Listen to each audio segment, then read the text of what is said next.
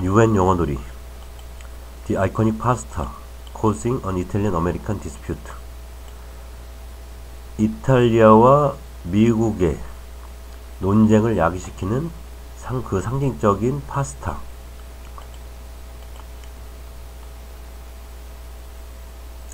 An article claiming the American paternity of carbonara has caused an uproar in Italy and a spike in curiosity in the US.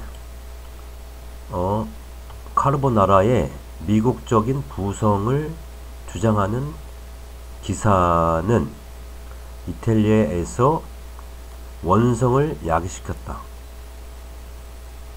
그리고 미국에서는 궁금증의 증가를 야기시켰다.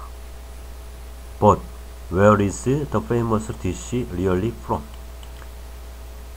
And why do people care so much? 그러나 그 유명한 음식은 정말로 어디에서 왔는가?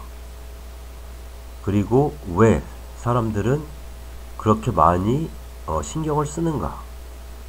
오늘의 포인트는 Where is the famous dish really from?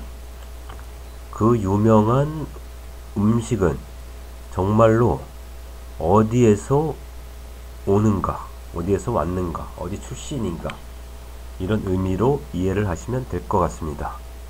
UN 영어놀이 끝